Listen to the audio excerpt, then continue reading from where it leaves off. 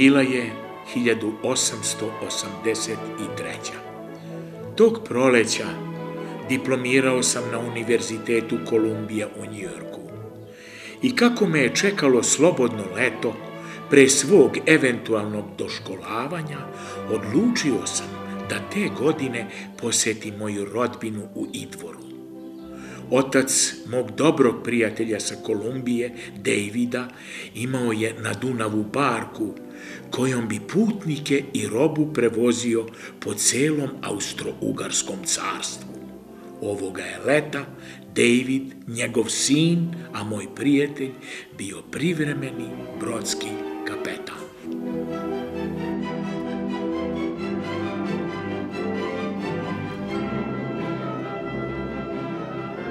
Pomoz Bog prote vaso. Ljubim ruke. O, Tako mi je drago što vas ponovo vidim. o, sine Mihajlo, koliko je vremena prošlo, skoro te ne mogu poznati. A ja sam vas, dragi profesore, prepoznao čim sam vas vidio. Da ništa se niste promenili. Isti ste kao onda kad ste mi u gimnaziji predavali. Persida! Ljubim ruke protiv vas. Prostite moje ženi Persidi, toliko dugo nije videla svoga brata. Ja sam Mihajlo Zet, sve to se... Ljubim ruke protiv vas. O, dobar dan, dete moje, dobar dan. Eno, kola su spremna, čekaju. Hajde, hajde. A i ja se moram vratiti poslu. Sutradan imamo veliki e, sabor naše crkvene opštine i mora se svašta uraditi. E, da, e, Mihajlo, kada budeš stigao u Idvor, pozdravi puno svoju majku od Hoću, mene. hoću. Pomaže Bog protiv vas. O, Duta. Evo i mene opet u gradu. Pa zar ti nisi u Novome Sadu? Javili su mi proto da mi je brat teško bolestan. Ja sam Jelisaveta. Mihajlo, drago mi je. Je li savjeta, to je tako lepo ime? Molim vas, zovite me Duta. Tako me svi zovu. Duta. Prihvatam pod uslovom da vi prihvatite da pređemo na ti. Duta je bila najbolje čeljade koje sam upoznao, dok su njena braća uvek zadavala neke neprilike. Proto, bojim se da je Petar ozbiljno bolestan. Nisu hteli da šalju po mene dok lekar nije došao da ga pregleda. A, on veli da neće još dugo. Žao mi je što to čujem.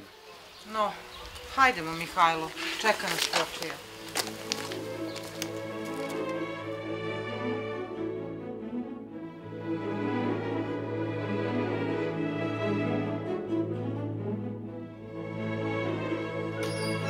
Majko! Sine, sine moj dragi. O, majko.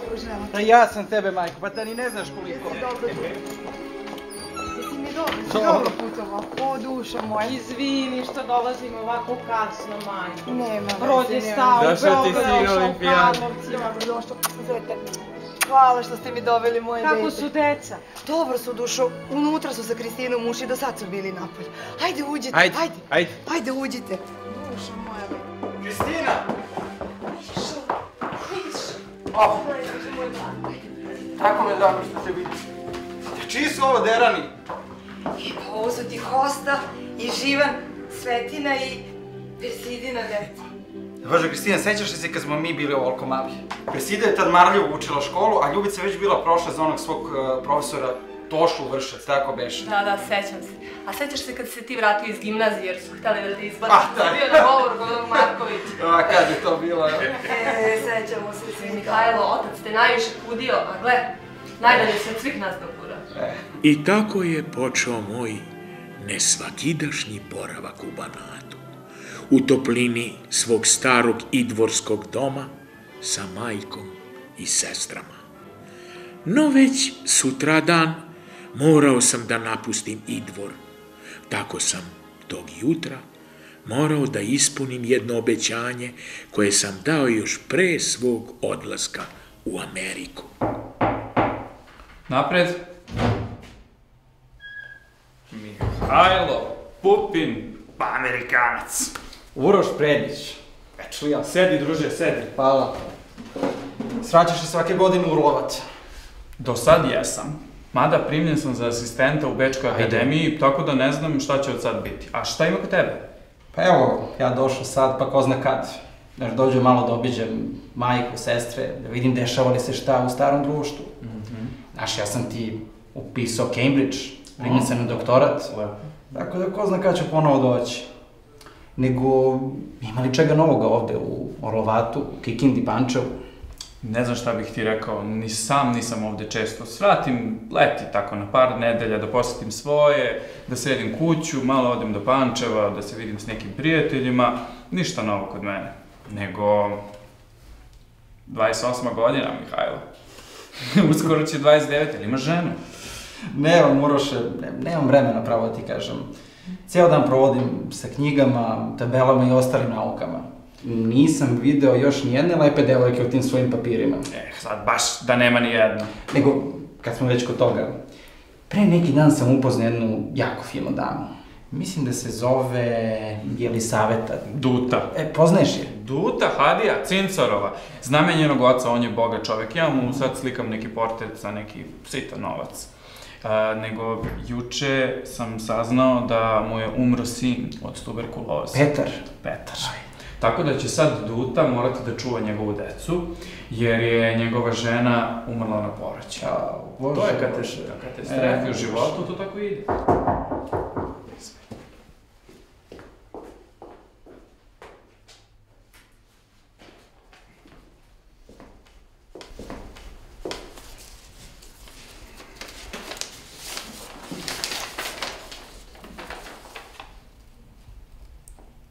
Mišo, pa ovo je divno. Naš prota Vasa je postao predsjednik crkvene opštine Pančevo. Evo, zove me na proslavu povodom tog događaja.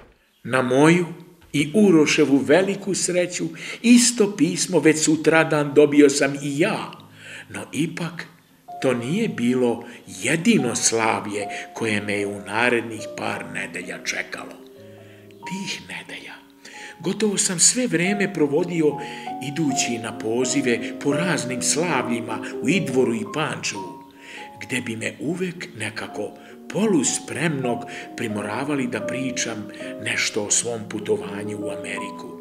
Ja bi onda najčešće pričao o američkoj deklaraciji nezavisnosti, o njihovom pravu, njihovom uređenju, gde se svaki pojedinac poštuje i gde vlada većina i volja naroda. No gde god sam išao i koliko god da se ljudi za moju priču zanimaju, ipak mi je najradije bilo kada bismo se svi, cela porodica, skupili u našoj kući. Kako je ovo veselje, sunce li vam vaše? I zašto ja nisam pozvan, a? Ma čuti tu, Teofane, grom te ubio, ajde sedi tu, kako nisi dobro došao? U Idvoru imaju običaj da se kada porodilja u četrdesetim, kao što je moja majka bila, napokon rodi živorođeno muško dete, ono da prvom prolazniku ili najbližem komšiju da ga nosi u crkvu i krsti kao svoje kumče.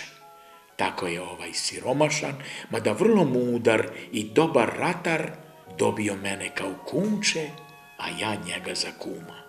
Drugi čovek, koji je moju pažnju tog leta osvojio, bio je moj brat od strica Arsenije, seoski kmet. Za razliku od Teofana, on je imao ženu i veliku porodicu, mnogo novaca i ne toliko mnogo pameti za bilo šta drugo, no za ono što je njegov pravi posao i bio. Nego Mišo, šta bi s onom cincarskom devojkom, a? Hajde, hajde, sve mi je rekla Kristina.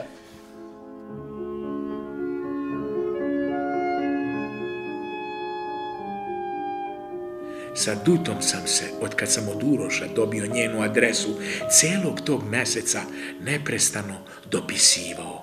Shvatio sam da je vrlo inteligentna i nezavisna žena, da je vrlo odlučna, principijelna i obrazovana, što je u to doba i za to mesto, za jednu devojku, bila jako redka pojava.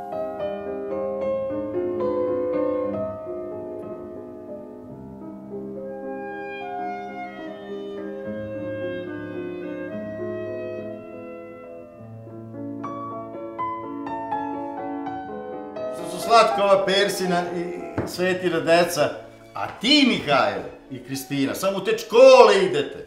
Koji će vam to? Žente se, udajte se. Šta meni fali? Kad god hoću, odem u Pančevo, najdem se pereca i napijem se piva kod Vajferta. Rođak Arsenije bio je jedan od zagovornika toga da su porodične vrednosti one najbitnije i da je ona važnija od svega. Jednom je tako baš u šali slučajno pred ostalim seoskim kmetovima na saboru kazao da je imati lepu ženu bitnije, no imati prava u vojnoj krajini. Umalo ga iz sela zbog toga tada nisu izbacili. Mišo, sin. Molim. Mišo, Molim. tražite žandarmi. Meni, žandari. Kakvi žandar? Pa mađarske valjda. Suci, poljovi, Čekaj, Arsi, stani, stani, sedi, Arsi. Sedi, pusti, sve u redu. Poći ću, pusti. Joj, dušo moja. Sve je u redu. Šta god da je u pitanju, poneću američki pasoš. Ja i tako nisam više državljan Austro-Ugrske. Da, ne mogu mi valjda ništa. Valjda ne može ništa. Mišo, ja se bojim. Ne boj se, mama. Biće sve u redu. Bojim se dušo moja. Biće sve u redu. Doviđenja, Arsenija. Mišo, aj čuvaj se. Čuvaj se, dušo moja. Čuvaj se. Ne brini se. Ajde.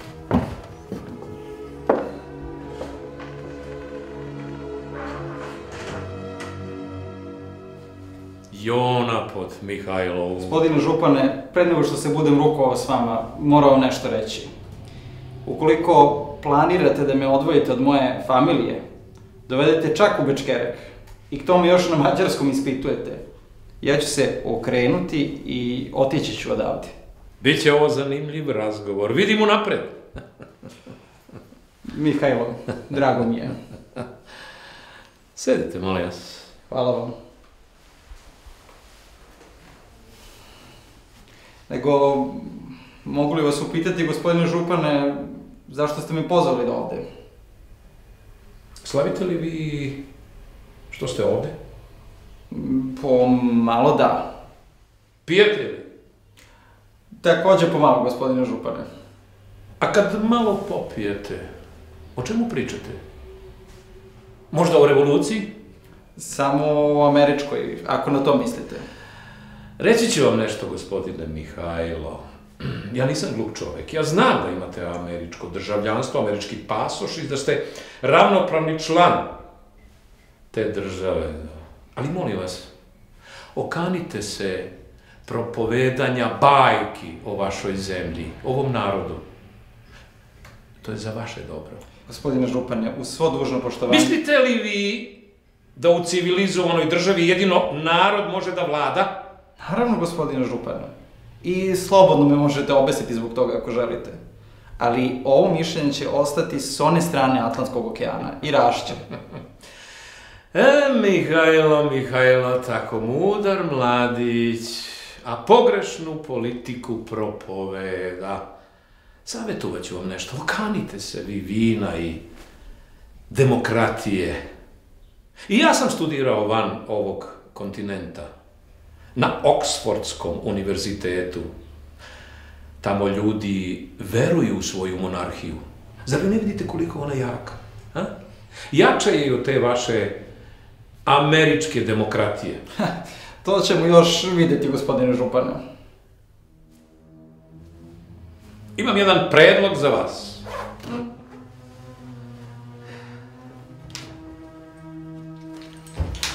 Ha! Ne brinite. Kao što vidite, ovo je lovačka puška. Okanite se vi vina i demokratije i pozivam vas da krenete sa mnom u lov po našem banatu. Tada sam na čuđenje, ne samo moje, već i svi članova moje porodice, pa i ostalih seljana iz Idvora, uspeo da sebi pridobijem i torontalskog župana iz Bečkereka.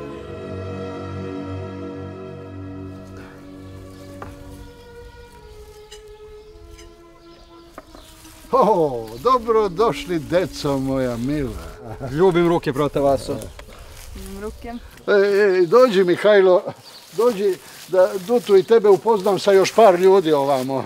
Mihajlo? O, Uroš Predić, tako mi je drago što te vidim prijatelju. Znaš li Dutu? Kako da ne, kako da ne, ljubim ruke.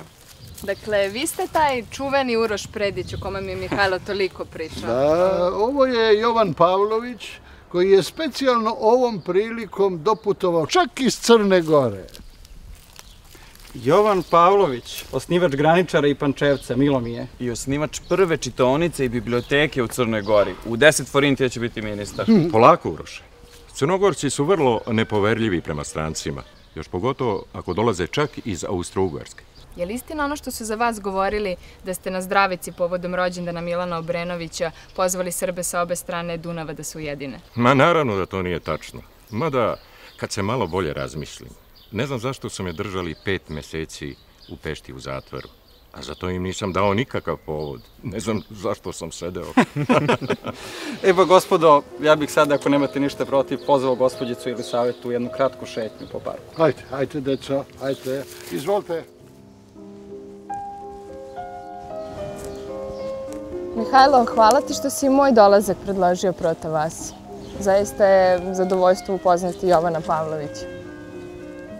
Ta, ništa duta. U ostalom, to što si večeras ovde predstavlja veliko zadovoljstvo, lično mene. Ne preteruj. Nego, kaži mi, otkuda poznaješ prota vasu? A, pa preko mog oca, kao što poznajem i Uroša Predića i mnoge zanimljive ljude u Pančevu. Svi oni traže neku uslugu od mog oca, a Prota Vasa je jedini kome je moj otac tražio uslugu.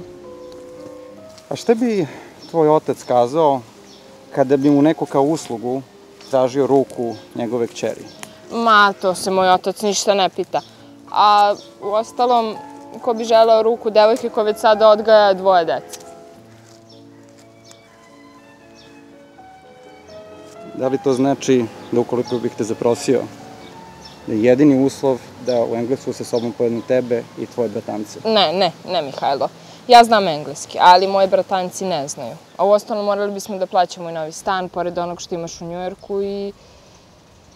Ne znam, ne znam, Mihajlo, ako me zaprosiš, morali bi da ostanemo ovde. No iako znam koliko mi je rođak Arsenije za to bio da osnujem porodicu ovde, i jako znam koliko mi je otac Konstantin bio protiv toga da idem da se školujem u inostranstvu, ipak sam za mišljenje morao upitati još jednu osobu. Kada bih te pitao da li da ostanem ovde, osnujem porodicu, bavim se onim čime su se bavili moj otac, Dutin otac, predaje možda nauku u Pančevačkoj gimnaziji, ili se vratim u Englesku, na doktorat na Cambridge, idem za svojim životom, ostavim tvoj život, Kristinin, Dutin, šta bi ti meni majko odgovorila? Sine moj, to je odluka koju ćeš ti morati doneti bez svoje majke. No ja znam, pile moje, šta god da odlučiš, odlučit ćeš ti pravu stvar. Nekoliko dana kasnije, baš one večeri kada sam uzeo pisati pismo Svetozaru kako me fijakerom mora odvesti u Pančevo gde bi zaprosio Dutu, imao sam jednog neočekivanog gosta koji je za mene nosio još manje očekivani poziv. Gospodin Mihajlo, Kaži imenjače, šta ti treba, uđi. tražite kum Teofan. Kaže da je hitno. A, kažeš hitno, jel? Trči odmah kumu Teofanu, reci da odmah dolazim. Ajde.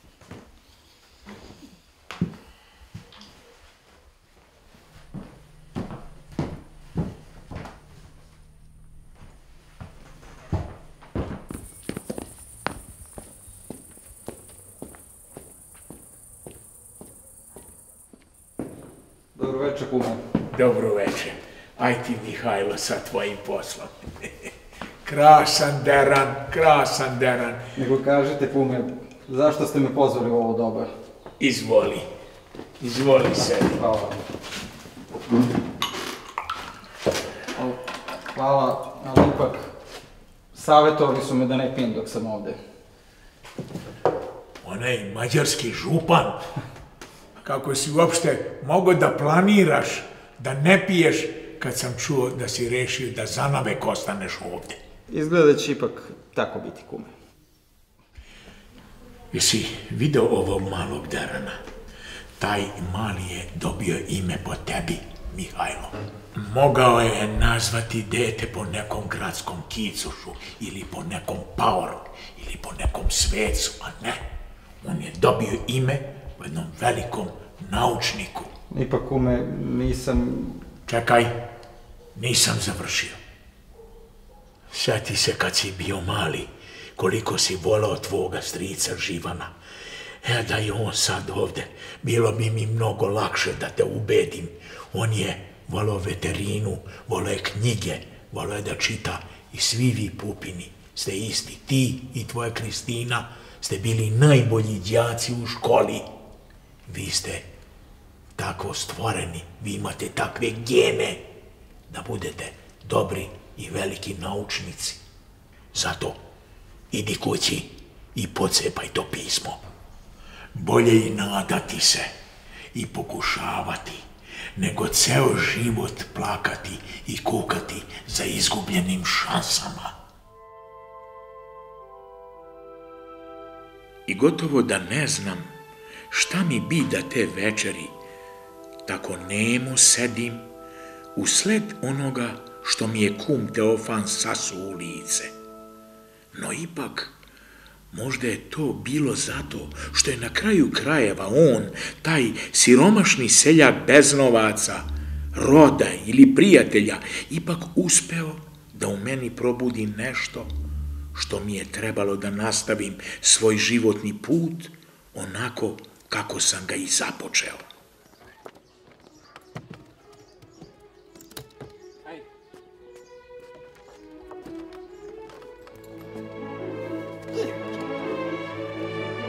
Idemo.